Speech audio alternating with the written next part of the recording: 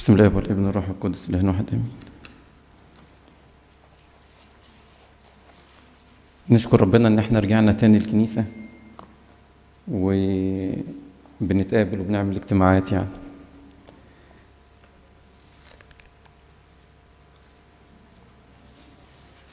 النهاردة طلب مني ان إحنا نتكلم عن آه كتاب من العهد الجديد واخترنا تأملات في أفسس. بتهيألي أفسس واحدة من أشهر المدن ومن أشهر الرسائل أو الكتب اللي موجودة في الكتاب المقدس. مش مش أشهرهم يعني علشان أشهرهم أقصد إن الناس سمعت عنها كتير. المدينة نفسها مدينة مشهورة خالص حصل فيها أحداث كتير والرسالة بتاعت أفسس بتهيألي برضو في ناس كتير اتكلموا عن الرسالة ديت. حد يحب يشارك يعرف إيه عن أفسس؟ وصية الزوج والزوجة. إيه البولس قراية البولس بتاعت الإكليل من أفسس خمسة. ده مظبوط وعشان كده دي مشهورة. في حاجة تانية بتتصلى من أفسس؟ أسألكم أنا الأسير في الرب بنصليها إمتى؟ باكر كل يوم ففي جزء محفوظ الكنيسة كلها حافظاه في إيه تاني معروف أو مشهور عن أفسس؟ مين خدم في أفسس؟ اتنين رسل كبار قوي بولس الرسول اللي كاتب الرسالة ويوحنا الحبيب أفسس معناها محبوبة أو مرغوبة. وكانت هي يعني موجودة في في آسيا الصغرى اللي هي تركيا حاليا. وكانت مشهورة بعبادة الإلهة عظيمة هي أرطاميس التي لأهل أفسس أو للأفسسيين. مشهورة خالص. اتذكر شوية أحداث حصلت فيها في سفر الأعمال خلال خدمة بولس الرسول جوه المدينة وبعدين بولس نفسه بعت لهم رسالة. هنتكلم شوية تفاصيل بعد كده. واتبعتت كانت أفسس واحدة من السبع كنايس اللي اتبعت لهم في سفر الرؤيا اكتب إلى الملاك الكنيسة التي في أفسس اللي هو كان مين؟ اللي هو كان تيموساوس تلميذ بولس الرسول أسقف أفسس اللي قال له عندي عليك إنك تركت محبتك الأولى. وبعدين بولس الرسول كتب رسالتين لتلميذه تيموساوس اللي هو أسقف أفسس. فهي مشهورة خالص يعني. نقول مقدمة كده عارفين شخصية بولس الرسول. بولس الرسول اتولد إمتى؟ حد عارف سن بولس الرسول تقريبا إيه؟ يقال إن هو اتولد تقريبا واحد ميلاديا. يعني تقريبا كان في سن السيد المسيح. اتولد في طرسوس طرسوس مدينة غنية في نواحي سوريا يعني شمال سوريا أو جنوب تركيا وكانت غنية. وأبوه كان راجل غني واشترى الجنسية الرومانية. فبولس اتولد روماني الجنسية واخد الجنسية الرومانية. واتولد يهودي الديانة من سبط بنيامين وكان فريسي المذهب. فكان مدقق جدا. أبوه لأنه كان راجل غني وفي نفس الوقت متدين بعته اتعلم الثقافة اليونانية فبقى هو يوناني الثقافة وروماني الجنسية ويهودي الديانة وفريسي المذهب. وبعته اتعلم عند رجلين غمالائيل غمالائيل كان واحد من ثلاثة مشهورين أصحاب مدارس يهودية شاماي وهليل وغمالائيل زي الإسلام كده. في آه، ابن حنبل ومش عارف أبو حنيفة في في كده مدارس. فكانوا اليهود تقريبا زيهم. كان شاماي هو صاحب المدرسة الأكثر تدقيق وهاليل هو صاحب المدرسة الأكثر تساهل وغمالائيل كان هو الرجل المتوسط الحكيم. وكان ظهر جدا في أعمال خمسة إن هو أرشد مجمع السنهدريم لما كانوا بيحاكموا الرسل وطلع الرسل بره وقال لهم يا جماعة نفكر. رغم إن كانوا هو نفسه كان يهودي لكن كان واخد الموضوع بحكمة فكان إيه، واخد الطريق الوسطى يعني.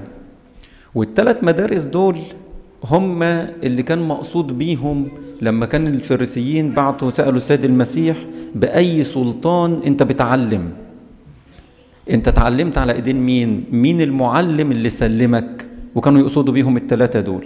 المسيح ما كانش تلميذ للثلاثة دول فراح سألهم سؤال تاني اللي هو منين يوحنا المعمدان وما جاوبش إجابة صريحة لأن هو ما كانش لا متلمذ على شماي ولا هليل ولا غمالائيل بس كانوا هم دول الثلاثة اللي مشهورين واللي كانوا مقصود منهم من المدرسة اللي طلعت التعليم ده.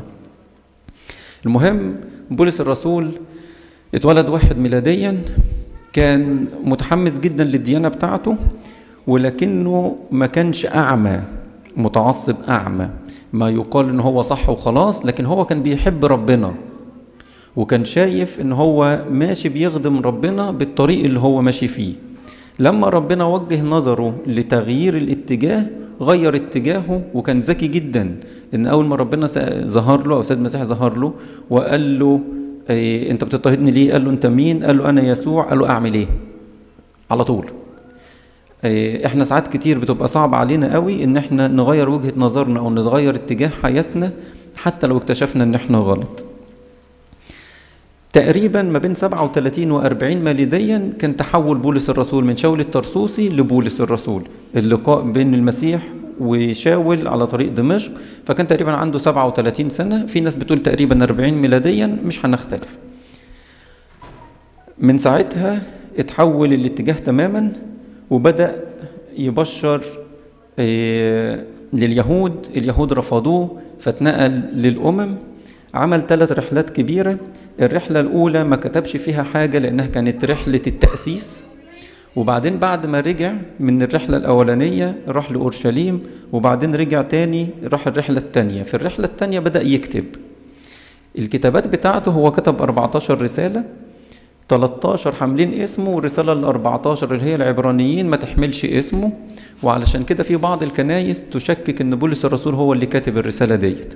بغض النظر يعني اللي هي رسالة العبرانيين. مش هنختلف ومش هندخل في تفاصيلها. بس المهم إن هو جه من الرحلة التبشيرية الثانية بدأ يكتب فكتب الأول واحدة خالص كانت رسالة تسالونيكي الأولى. وبعديها تسالونيكي الثانية كان فرق بينهم تقريبا ثلاث شهور في بين الرسالتين دول. وبعدين في الرسالة في الرحلة التبشيرية الثالثة آه، آسف بين الاثنين اتسجن. في السجن بتاعه كتب أربع رسائل اللي هي منهم واحدة أفسس أفسس وفيليبي وفيليمون كلهم فيهم فيه وكولوسي. وبعدين آه، كتب الباقي روميا وغلاطيا وبعدين في الرسالة في الرحلة الثالثة بدأ يكتب للتلاميذ بتوعه تيموساوس كان سابه بقى أسقف في أفسس وتيتوس كان سابه أسقف لكريت وبعدين في الآخر خالص وفي بينهم كتب العبرانيين وبعدين في الآخر خالص قبل ما يستشهد بتقريبا ثلاث أو أربعة أشهر كتب رسالة تيموساوس الثانية اللي هو قال له فيها خلاص كملت السعي وخلصت دوري وأنا داخل دلوقتي على الاستشهاد. شوية من رسائل بولس كانت بتحل مشاكل زي كورنثوس الأولى مثلا وكورنثوس الثانية آه، أو رسالة روميا كانوا بيحل مشاكل. وفي رسائل اللي هي منهم أفسس وكولوسي ما كانش بيحل مشاكل لكنها كانت رسائل تعليمية. وبعض المفسرين قالوا إن هو بدأ يكتبها على أساس إنها رسالة دورية. ومذكور آه، مثلا إن هو قال إن في رسالة كاتبها لكنيسة اللودكيين.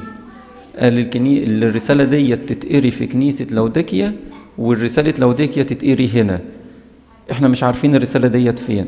فقد يكون هو كتب رسائل تانية ومش مذكورة أو مش متجمعة جوه الكتاب المقدس وقد تكون تحمل نفس الاسم اسمين مختلفين يعني كولوسي أو لوديكيا تكون هي هي نفس الرسالة. الآراء دي موجودة والآراء دي موجودة. بولس الرسول اتسجن كذا مرة.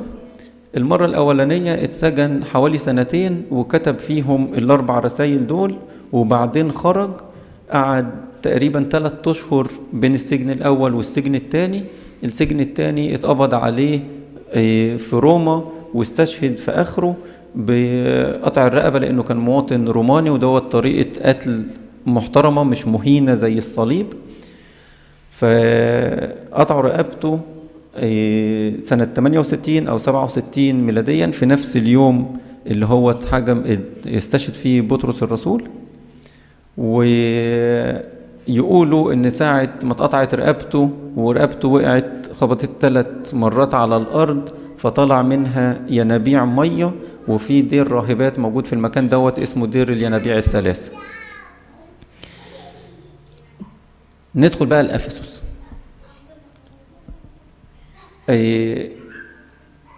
أفسس بتكلم على إيه؟ إيه محور رسالة أفسس؟ الكنيسة الكنيسة جسد المسيح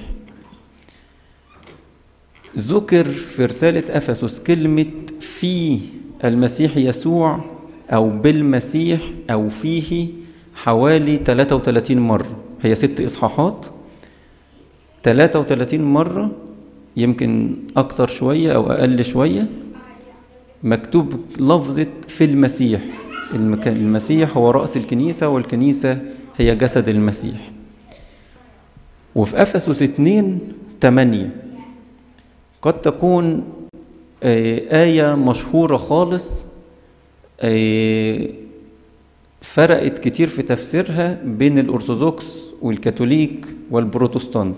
حد فاكر أفسس 2 8 هي إيه؟ ترنيمة قالتها النهارده هناء الترنيمة الثانية باين لولا النعم. إيه الرسالة دي؟ إيه إيه الأفسس 2 8 دي ما تتنسيش. بالنعمه أنتم مخلصون. ليس من أعمال لئلا يفتخر أحد. فسروها لي.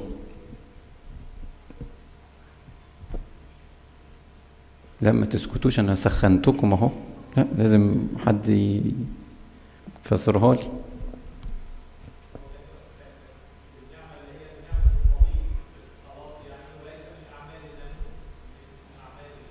أعمال الناموس دي كانت في روميا.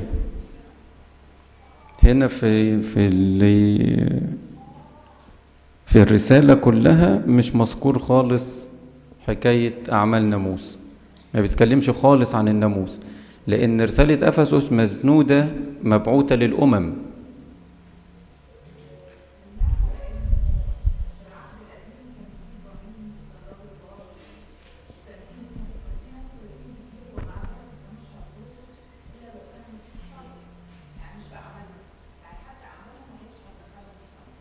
وإحنا دلوقتي عملنا حد دخلنا السماء؟ أنا بحرجك. فيعني كده إثباتي يعني ما تتهزيش.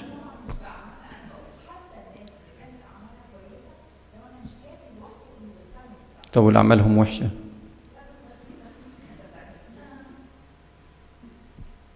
مش هتدخلك في السماء بس هتنفعك. إزاي حلوة في اعمال هت- هتنفع حلوة في حاجات هتتحرق وتخلص على طول وفي حاجات فضه وفي ذهب مش هي اللي هتدخل يعني. كويس.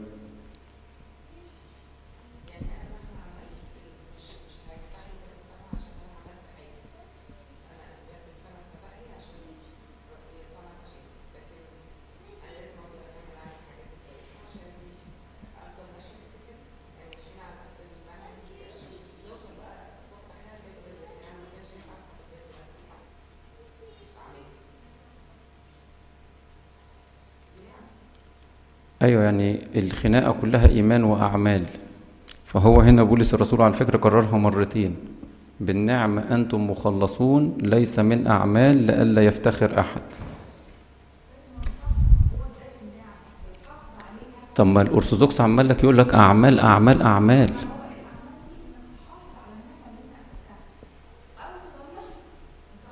طب ما هم بتوع العهد القديم ما خدوش النعمة ديت. لو هو زي ما ماركو قال النعمة دي هي الصليب.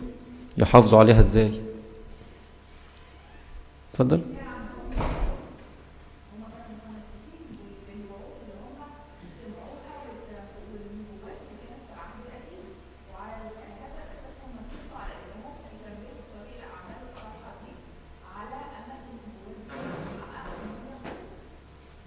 عظيم.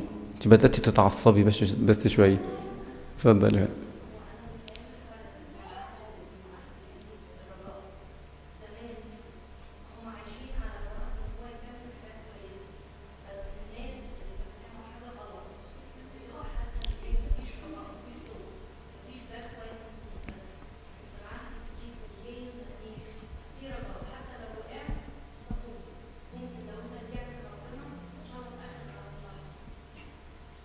كانوا بيذبحوا بذبايح وخلاص مفيش مشاكل زي المسلمين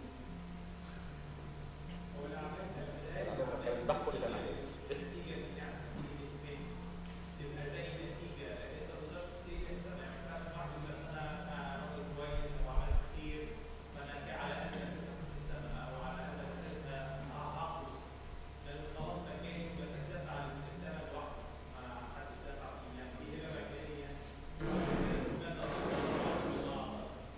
يعني نعمل ولا ما نعملش؟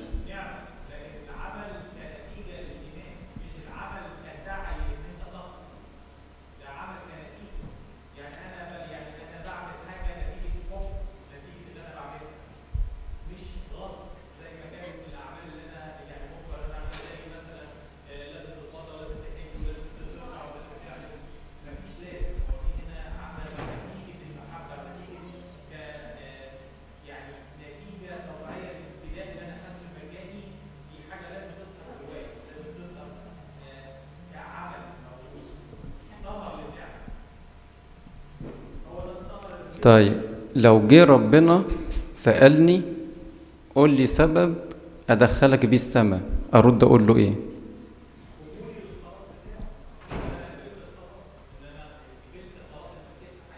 قبلت خلاص المسيح في حياتي. إيه تاني؟ لا هو بيقول لي لي سبب تدخلي بيه السماء. المسيح هو اللي بيسأل.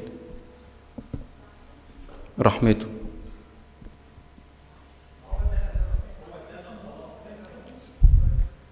طب هتفرق لو أنا اللي سألت ربنا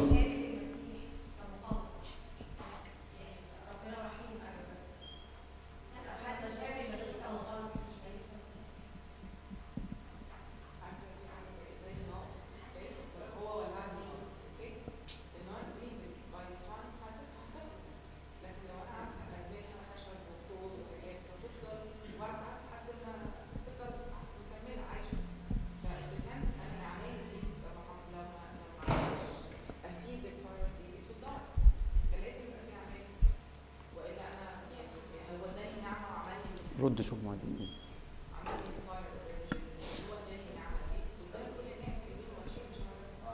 مم.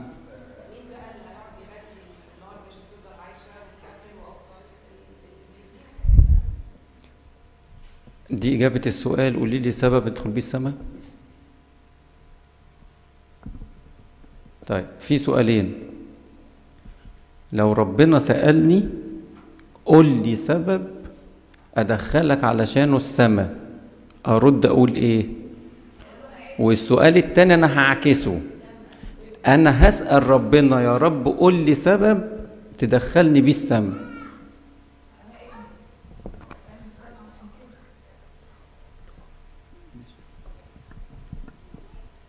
أنا آسف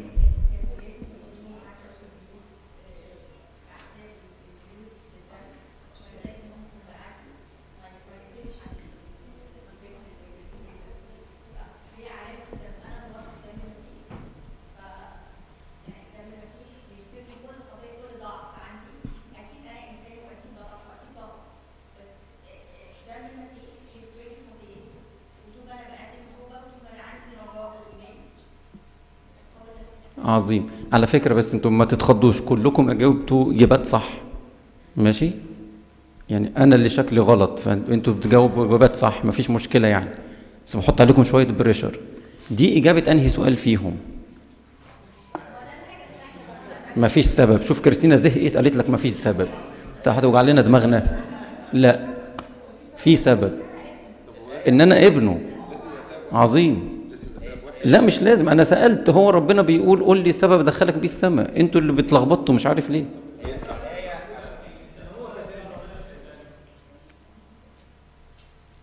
بتخيل سؤال ربنا مش هيسأله؟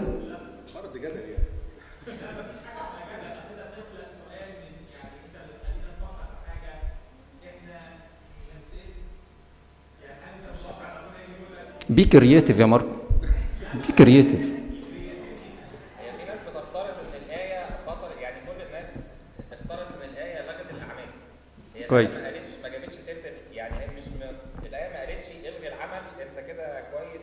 هي الفكرة بيقول إن خليك بقى خلوا بالكم إن الأعمال اللي أنت بتعملها الكويسة دي مش هي دي اللي أنت هتتضرر بيها. في نعمة. ان مش معنى كده الآية ما قالتش خلاص ما تعملوش الأعمال. فلان الأعمال ثمرة الإيمان والأعمال من غير إيمان ما هي طب ما هو يبقى أنت فعلا لما ربنا يقول لك أنا هدخلك ليه؟ مع إني لا أعرفكم أنتوا بتقولوا آه، يعني بتعملوا معجزات باسمي بس أنا ما اعرفكمش فهو يعني الموضوع مش مش آية واحدة ومش آه، ال- الأبدية وال يعني مش في كلمة وهنخلص مش هن آه، لازم تتفهم يعني لازم تتفهم وتتحس كده. الع- العدل والرحمة طلقيا فهم لازم الاثنين يعني. فربنا لما يسألني يقول لي هتخشوا هتخش الجنة ليه؟ عشان العدل والرحمة. ده لو يعني لو اتفضل.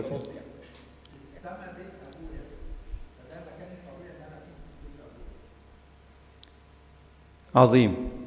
طب ربنا هيسألك انت بقى هتسأل ربنا. ربنا هيرد يقول لك إيه؟ هيقول لك عشان تبني. امم يعني نفس السؤال. يعني أنا هسأل ربنا أقول له أدخل السماء ليه؟ وربنا هيسألني السؤال طب أنت تدخل للسماء؟ نفس الإجابة. طيب نحل الاشتباك؟ لا طيب كويس. ده فعل كام العدل والرحمة تلقيا يعني ما ينفعش مثلا ابن ربنا بس بس أنا مثلا يعني مش بس كما يقول ابن ربنا خلاص حاجة خمسة ده مش عدل العدل والرحمة تلقيا لكن عدل ربنا إن لازم أنا أسكت كما يقول ابن ربنا يعني لازم أعمالي تشهد بده ف ف يعني الأعمال مهمة النعمة النعمة هي اللي هتخليني بعمل مصيبة وتخليني أنا مش أنا في الآخر بشر وكل إنسان حتى لو عايش يوم واحد بس على الأرض على خطية في الآخر الخطية دي محتاجة فداء هو ده المسيح اللي بيغفر لي خطيتي أي ضعف عندي يغفره لي بس أعمالي مهمة العدل والرحمة زي ما بتقول هل لديكم أقوال أخرى؟ اتفضل. لو ربنا يعني اللي هيقدر يدخل لل- للسماء علشان آمن واعتمد بالخلاص وعلشان صنع أثمار تليق بالتوبة. ده إجابة أنهي سؤال فيهم؟ دي دي الإجابة. هم كده وانت حلها كويس. ربنا اللي يسألني أسأل ربنا هو اللي هيعمل ال- الحاجات ديت طب هم ربنا هو هيكرمه سؤال بقى، ويدخل. ليه الطوائف اختلفت في تفسير الايه؟ اتفضل.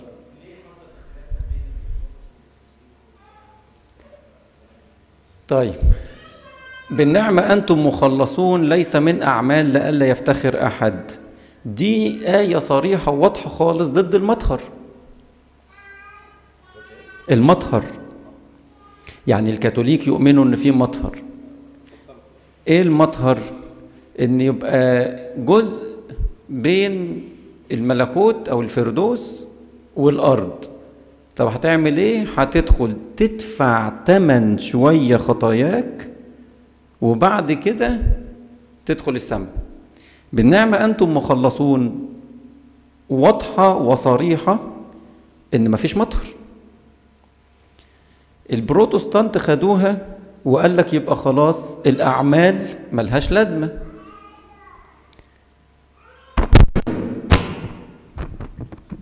لا لا. والأرثوذكس بدأوا يتفلسفوا. زي ما إحنا عملنا كده. ليه أنا سألت السؤال دوت باتجاهين؟ عشان نحل المعضلة. موضوع الخلاص وموضوع حياتنا الروحية عامة عامل أكنه كوين وجهي عملة. لو أنا هسأل آسف لو ربنا هيجي يسألني قول لي سبب أدخلك بيه السماء الرد إيه؟ عشان أنت يا رب مت علشاني. زي ما كلكم قلتوا يعني. ده السبب الوحيد اللي تدخل بيه السماء بالنعمة أنتم مخلصون. ليس من أعمال لئلا يفتخر أحد. أوعى تفتكر إن مهما عملت ولو قطعوا جسمك حتت حتت عشان خاطر المسيح أنت تكون بتدفع ثمن الملكوت وإلا يجي في وقت من الأوقات وأقول لربنا حقي مش كده؟ طب لو اتعكست الرؤية أو السؤال وأنا قلت لربنا طب يا رب أنا متشكر قوي ليه تدخلني السماء؟ يقول لي أصل كنت جعان فأطعمتموني وعطشان فسقتوني وغريب فزرتوني ومريض زرتوني ومسجون أتيتم إلي فاهمين عملنا إيه؟ يبقى العمل اللي أنا بعمله مهم بس دوت من وجهة نظر ربنا إن أنا بتصرف كابن الملك يعني إحنا وإحنا بنربي عيالنا نقول لهم إيه؟ ال good boy ما بيعملش كده لكن ال good boy بيعمل كده ال good girl اللي بتعمل كده ما بتعملش كده. فهي بقى عشان تبقى هي good girl هتعمل إيه؟ هتعمل حاجة الصح طب إحنا أولاد الملك المفروض مننا نعمل إيه؟ نعمل الحاجة الصح نتصرف زي ما أبونا عايزنا نتصرف. نشرفه نرفع اسمه. مذكورة في نفس الإصحاح. ارجعوا تاني واقروا أفسس اتنين. إصحاح ممتع جدا. فلو أنا ربنا سألني تدخل ليه؟ اوعى اقف واقول له اصل أنا بصوم يومين في الأسبوع واعشر كل اموالي وأنا بدفع عشوري وده أنا بخدم في الكنيسة ليل ونهار وباسمك صنعنا معجزات. باسمك صنعنا معجزات إيه؟ وانت فاكر نفسك هتدخل السماء عشان بتعمل معجزات. لكن ممكن جدا لما أنا اسأل ربنا طب تدخلني ليه؟ يقول لي عشان انت عملت وعملت وعملت. ربنا اللي قال من وجهة نظره يجي في يوم الأخير ويقول للخراف تعالوا علشان كنت مريض فزرتني وكنت جعان فأكلتني. هو نفسه اللي قال لهم لو فعلتم كل البر قولوا إيه؟ عبيد بطالين إحنا عملنا كل اللي مطلوب مننا. يبقى وجهة نظري في نفسي إن أنا عملت اللي المفروض مني. لكن وجهة نظر ربنا فيا آه أنت برافو عليك نعما أيها العبد الصالح والأمين. ادخل إلى فرح سيدك. ده بس اتضاع منه محبة منه. لكن اوعى افتكر إن أنا علشان بعمل أنا أستاهل. ده يحفظ الاتضاع حتى لو كنت بعمل معجزات. مش كده؟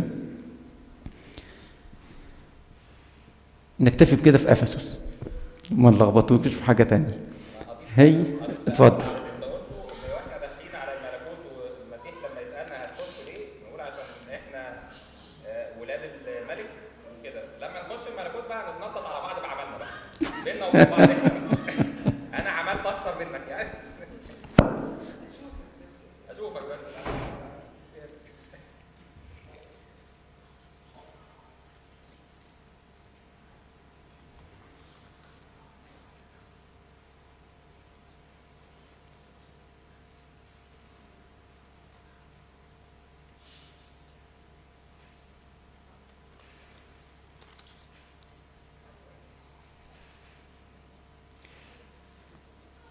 نكتفي بكده وممكن يبقى في مرة تانية لو تحبوا ندخل في رسالة أفسس. بتفاصيل أكتر لو عايزينها آية آية أو إصحاح إصحاح يعني أو أفكار موجودة فيها لربنا المجد الدائم إلى الأبد أبدين حد عنده سؤال؟ لا لا أنا مش مستعجل بس حسيت ان أنتوا طلعتوا كل اللي عندكم. سألتكم هل لديكم أقوال أخرى؟ قلتوا لا فقلت أقفل المحضر خلاص. إيه ده؟ كنتوا مستنيين النقطة اللي بعدها؟ لا ضحكت عليكم أنا بقى. أصل هو كهربني بقول له قدام قد إيه؟ قال لي 25 دقيقة. ف... وبعدين ده خد التليفون مني فأنا مش عارف الوقت إمتى أساسا. في خمس دقايق كمان. في خمس دقايق كمان. طب كويس اتفضل. انت تقولي لي. السؤال تينا بتسألنا هل المفروض أبقى واثق إن أنا داخل السماء؟ مين اللي هيقولوا لك آه؟ إحنا سألنا أنت ما ترديش نيابة عن الناس. أنت بتسألي تسمعي قال رجاء لا يعني داخل السماء؟ أنت مالك؟ خفت ليه؟ مريان أنت داخله السماء يا مريان برافو عليكي. انت داخله السماء هناء أيوه. خافت على طول الناس تحت تهديد السلاح. نشأت. داخل السماء نشأت. احتمال. البير. داخل السماء البير. عايشين ليه؟ لازم نخش السماء ولا المسيح مات أونطة المسيح ما ماتش أونطة داخل السماء وفيه لا. واثق من نفسك لو أنا عرفت ان أنا داخل السماء فانا هتواكل على الموضوع ده فيبقى بالتالي كل الكلام اللي انت اتكلمت عليه في موضوع اعمال يبقى ملوش لازمه يعني تبقى الكلمة يبقى يبقى مفيش اي مجهود المفروض ان أنا اعمله واخر المجهود اللي اعمله اوصل للسماء أكيد السماء تارجت لينا كلنا وإحنا كلنا عندنا رجاء ان إحنا نوصل للسماء بس هل أنا باعمالي ينفع اوصل للسماء ده هو ده السؤال لا بأعمالي أنفع أوصل السماء؟ لا.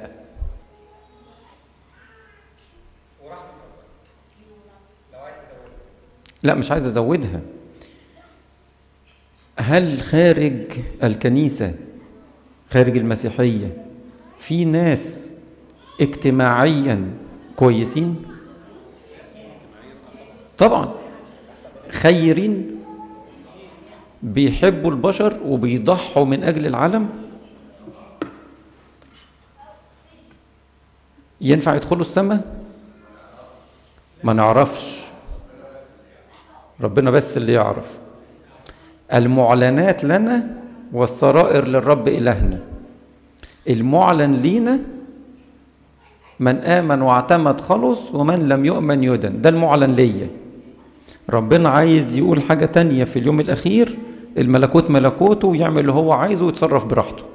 بس المعلن ليا ككنيسة من آمن واعتمد خلص معناها إيه؟ ليه السؤال دوت؟ أنا مش بلخبطكم بس معناها إن لو أنا بعمل كل البر وما عنديش صليب المسيح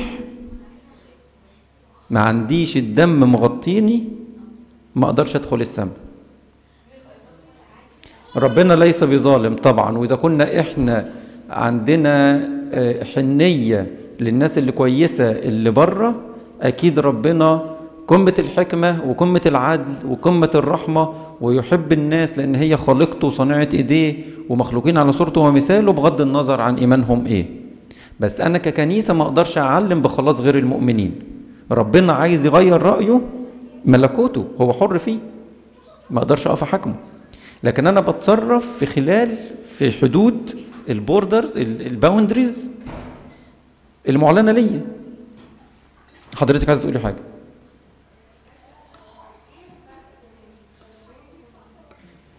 بين الفردوس والمطهر؟ الفردوس ما فيهوش نار لكن المطهر نار. لا. لا لا لا المطهر في في فكر الكاثوليك واحد بيدفع ثمن الخطية.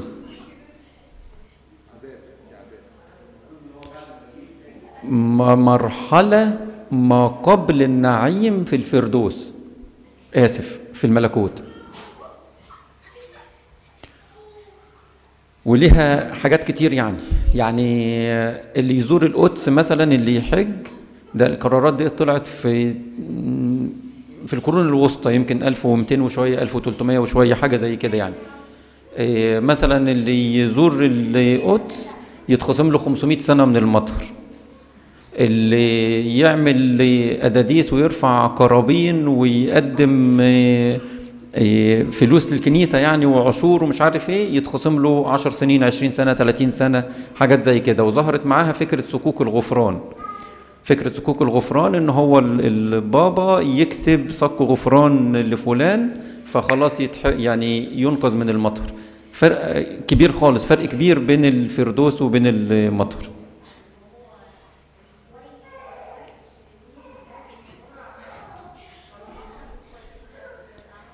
للكويسين بس اللي هم هيدخلوا السماء بس هم هماش كويسين أوي. هم بصي الفكر بيقول إن في خمسة في المية من الناس ممتازين.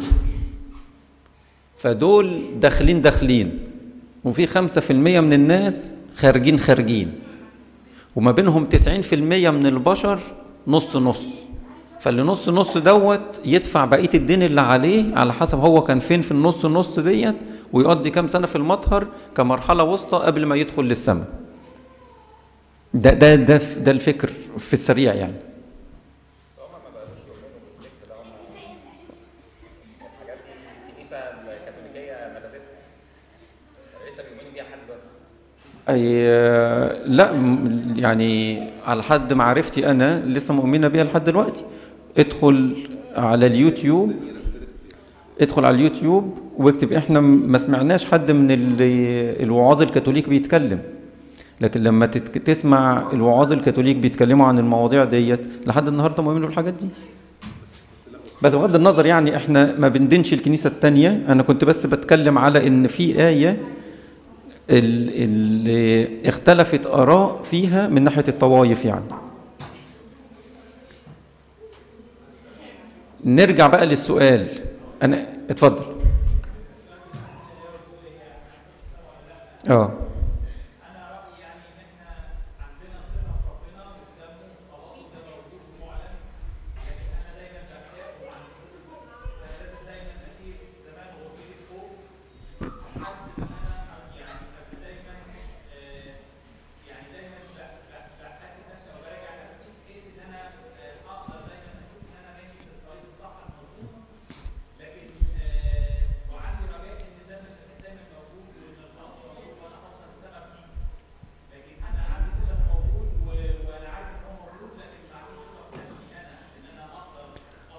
كلامك صح 100% بس إحنا داخلين السماء.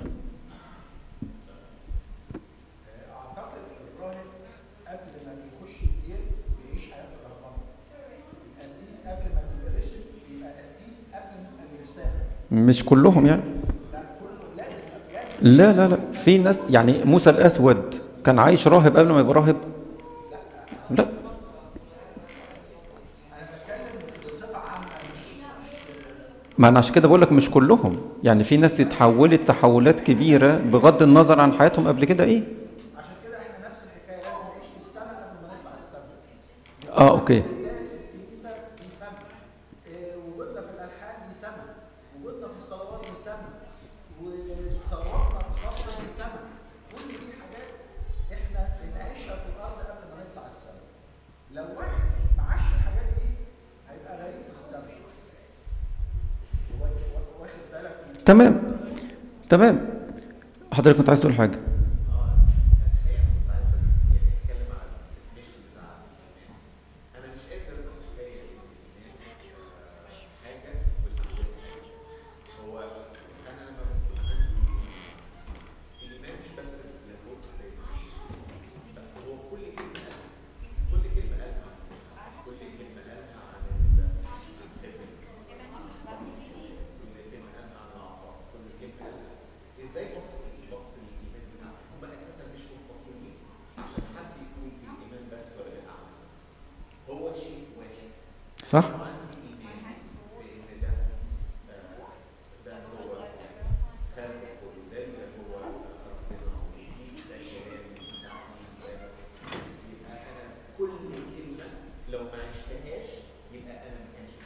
يبقى أنا مش مؤمن.